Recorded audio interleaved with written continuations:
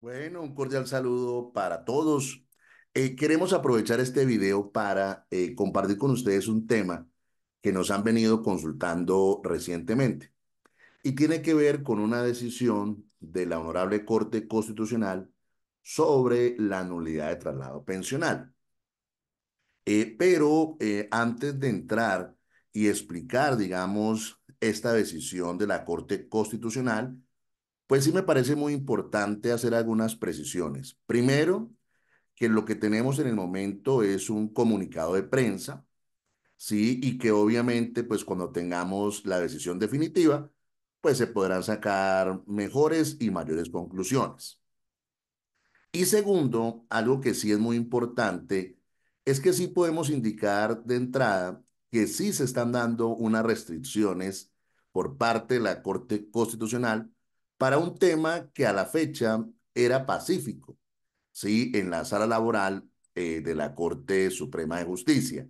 Y pues evidentemente con esta decisión judicial, pues lo que va a pasar es que se va a intentar o se va a buscar el cambio, ¿sí? De decisiones que eran favorables para aquellas personas que acudían a este tipo de procesos y que obviamente eso que es desfavorable para ellos, pues será favorable para los fondos privados de pensiones. Eso hay que decirlo abiertamente. Y también pues será favorable para Colpensiones porque no recibirá una cantidad de personas que iban a llegar sí, a eh, estar afiliados a este régimen. Entonces, miren, eh, para poder explicar la sentencia reciente de la Corte Constitucional, pues es muy importante indicar algunos precedentes. Y pues empecemos con analizar, pues, cuál es la posición de la sala laboral de la Corte de Justicia en materia de nulidad de traslado pensional. Y ahí pues debemos recordar un poco, hemos hecho videos sobre este tema, pero debemos recordar un poco qué es lo de eso de la nulidad de traslado pensional. Pues resulta que, por regla general, si yo estoy en un fondo privado y me quiero pasar a otro fondo privado, pues la ley me permite hacerlo cada seis meses. Y si yo me quiero pasar de un fondo privado a Colpensiones o de Colpensiones a un fondo privado, tengo para esos traslados un término de cinco años. Pero la legislación colombiana trae una prohibición y dice que si las mujeres son mayores de 47 años y los hombres son mayores de 52 años, pues no se pueden trasladar de un régimen a otro. Esa es la prohibición general. Entonces, ¿qué pasa? Que en la práctica muchas personas estuvieron o estaban en el seguro social o en colpensiones y se trasladaron por uno u otro motivo a los fondos privados de pensiones. Y cuando va llegando el momento de la pensión o antes, empiezan a revisar cómo le iría con su pensión en el fondo privado y cómo le iría en Colpensiones. Y lo que está claro y es contundente es que esas personas que se encuentran en el fondo privado, esas mujeres que tienen más de 47 años y esos hombres que tienen más de 52 años, observan que tendrían una mejor pensión si estuvieran en Colpensiones y no en el fondo privado. Y también hay que decirlo abiertamente, esto es para la gente que recibe pensiones o ingresos superiores al salario mínimo, porque pues si recibes el salario mínimo, pues tu pensión va a ser de salario mínimo en uno o en otro régimen. Entonces, ¿qué pasa? Esas personas que tienen más de 47 años, las mujeres, esos hombres que tienen más de 57 años y que observan que si siguen en el fondo privado, su pensión va a ser muy bajita comparada con la que tuvieran en Colpensiones, pues se dio una figura que fue la de nulidad de traslado pensional. Es decir, o ineficacia de traslado. Es decir, la posibilidad de decir, miren, yo nunca estuve en el fondo privado, yo siempre estuve en el Seguro Social o en Colpensiones, regréseme a Colpensiones. ¿Por qué? Porque me quiero pensionar mejor. Entonces aparecen ahí que históricamente se han protegido diferentes causales para que eso se dé. La primera, y esto se dio mucho cuando entró en vigencia la Ley 100 de 1993, por el 1 de abril de 1994, porque la gente venía afiliada o al Seguro Social o a las cajas. Entonces empiezan a funcionar los fondos privados y mucha gente se pasa de la caja específica o del seguro social a los fondos privados. Pero ¿qué sucede? No habían pasado tres años desde la entrada en vigencia de la ley 100 hasta el momento del traslado. Después fueron cinco años. Pero ¿qué pasa? Entonces mucha gente dijo, no, hay nulidad de traslado, no estuvo el tiempo específico y hubo muchas decisiones que cuando esto se dio, las personas pudieron regresar al régimen de prima media con prestación definida, administrado en su momento por el Seguro Social, actualmente por Colpensiones. Otra causal de nulidad de traslado pensional es la que tiene con, que ver con los errores o vicios por el consentimiento. Es decir, que todas aquellas personas que fueron trasladadas o que, fue, o que se pasaron para los fondos privados, pero no fue de una manera transparente, sino que fue un vicio del consentimiento, es decir, le dieron una información que no era, le dijeron, váyase para el fondo privado porque se va a acabar el seguro social, su pensión va a ser mejor en el fondo privado. Pues lo que está claro es que esa persona, si no le hacen información errada o equivocada, no se hubiera trasladado. Es decir, esa segunda causal también se dio y se ha dado materia de nulidad de traslado. Pero la causal que ha generado y genera los inconvenientes con este nuevo precedente de la Corte Constitucional es la tercera, y es la que tiene que ver con la información a los usuarios. Sobre todo porque la sala laboral de la Corte Suprema de Justicia ha dicho aspectos muy importantes para decretar la nulidad de traslado o la ineficacia del traslado. Y es primero, utilizar el numeral primero del artículo 97 del decreto 663 de 1993, donde expresamente la norma dice que las entidades vigiladas deben suministrar a los usuarios de los servicios que prestan la información necesaria para lograr la mayor transparencia en las operaciones que realicen, de, ser, de suerte que ellos puedan tener elementos de juicios claros y objetivos para escoger las mejores opciones del mercado.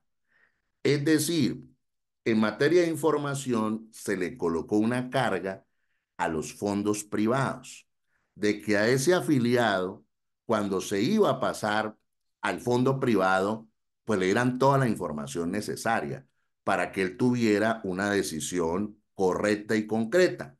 Y si el fondo privado no cumplía con este de información, pues operaba la nulidad del traslado.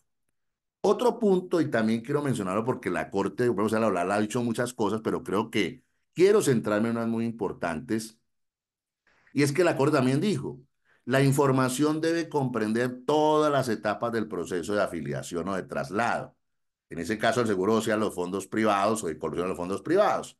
Es decir, desde antes de tomar la decisión hasta el momento de disfrutar la pensión.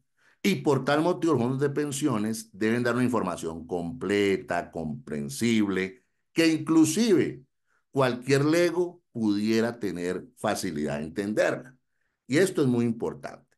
Y también la Corte ha dicho que en cuanto a la transparencia, la información que deben dar los fondos privados debe ser clara, simple, comprensible, para que así las reglas del juego para él sean conscientes y él pueda tomar una decisión de manera clara y contundente. Y a su vez, también la sala laboral de la Corte de Justicia ha sostenido claramente que el simple hecho de que una persona firme un formulario, que ya está preimpreso inclusive, pues no genera exoneración del fondo privado de decir que le dio toda la información adecuada y necesaria.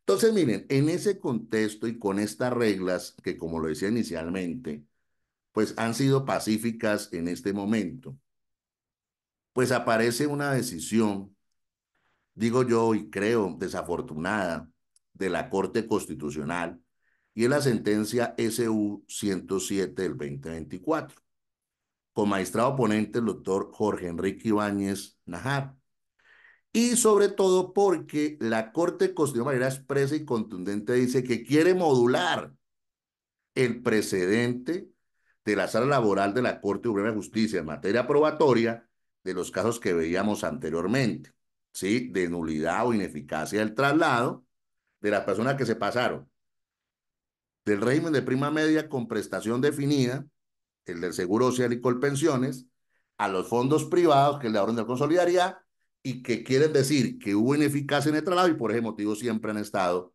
o deben estar en colpensiones. E inclusive la Corte Constitucional, de manera concreta y expresa, establece que eh, para la Corte Constitucional en esta sentencia, que la Corte Constitucional le ponga la carga a los fondos privados es desproporcionada. O sea, es decir, para la Corte Constitucional es desproporcionada que la carga sea para los fondos privados, pero no es desproporcionado que la carga se la pongan a los usuarios. E inclusive la Corte Constitucional reconoce lo que les había mencionado eh, previamente, ¿sí?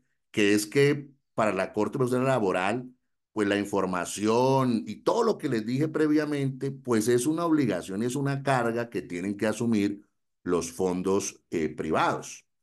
Pero para la Corte Constitucional esta carga o esta inversión de la carga de la prueba es desproporcionada. E inclusive la Corte Constitucional en materia de nulidad de traslado, sí, pues lo que dice es que estas cargas probatorias que se le han colocado a los fondos privados, para ellos son imposibles de cumplir.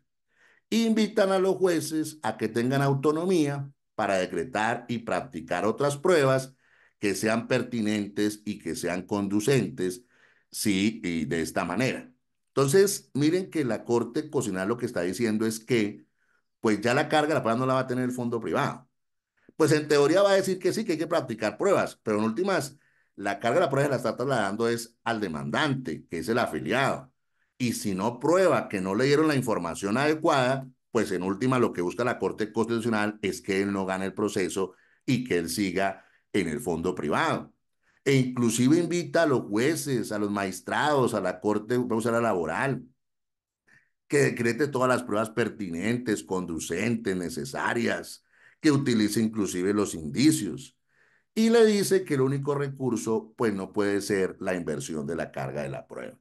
Honestamente, pues todas las personas que hemos presentado este tipo de procesos y que hemos litigado tanto en los juzgados como en los tribunales, como en la Corte de Justicia, pues decir que los jueces pues no buscan eh, la verdad real y no piden las pruebas necesarias, me parece un poco desproporcionado, porque estos son procesos en los cuales hay interrogatorio de partes, los documentos, hasta testigos, o sea, es decir, es un tema que honestamente yo creo que decir que, hay que no hay buena carga probatoria, pues honestamente creo que es desproporcionado y desajustado a la realidad.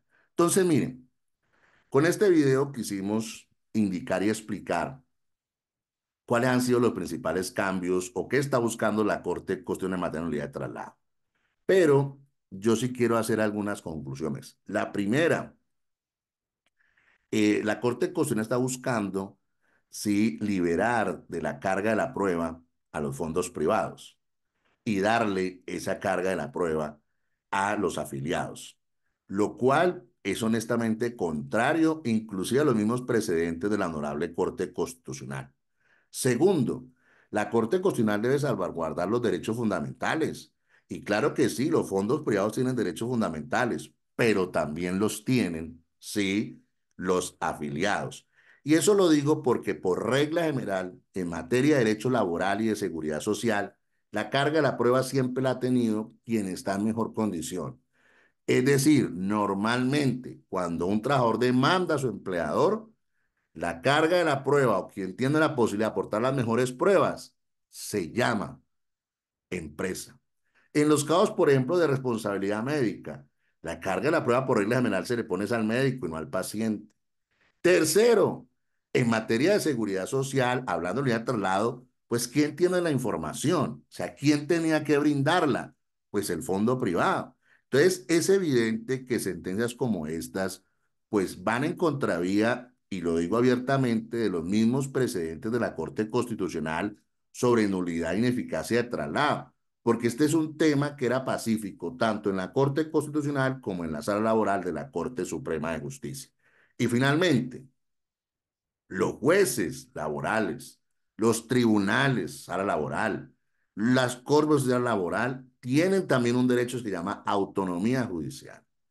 Y ellos también dentro de su autonomía pueden establecer y decretar las pruebas se consideren válidas, pero honestamente a la fecha, en los procesos judiciales, eso se ha hecho. Lo que pasa es que los fondos privados no acreditan y no pueden acreditar que dieron la información completa y adecuada para que esa persona tomara la mejor determinación. Entonces, yo sí creo que generar retrocesos frente a los avances que ya se han logrado en esta materia, pues es generar una cantidad de pérdida de derechos y beneficios para aquellas personas que todavía continúan en sus trámites judiciales. Nuevamente agradecerles porque nos siguen escribiendo, porque nos siguen dejando mensajes, porque nos siguen eh, colocando temas para hacer estos videos. Igualmente, recordarles suscribirse a nuestro canal de YouTube, Barona Llanos Abogados Consultores. Un abrazo para todos.